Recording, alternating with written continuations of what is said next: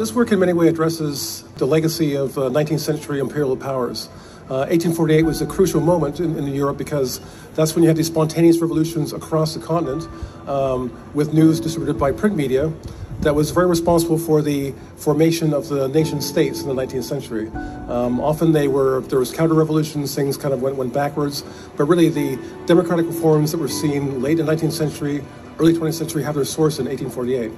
Of course, other things were kind of uh, buried within them as well.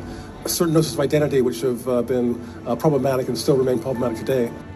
When I witnessed the events of uh, 2011, my intuition was that there was some connection between what I was seeing, a, a series of global um, disruptions, a, a global uh, expressions of disquiet, or and actually frustration and, and anger with the uh, the lack of representation um, in the world by the status quo that manifests in, in very different ways.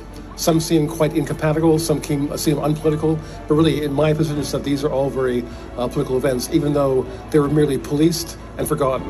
Uh, at the same time, they represent the same kind of uh, uh, problematic that was manifested in 1848, even though it may not result in the same, um, the same kind of reform. in many ways, the real source of all this is the um, Great Recession of 2008 and the various things after that, populism in the US, uh, Brexit, all these things have their source in that situation where the status quo did not um, accept the responsibility for, uh, for the people.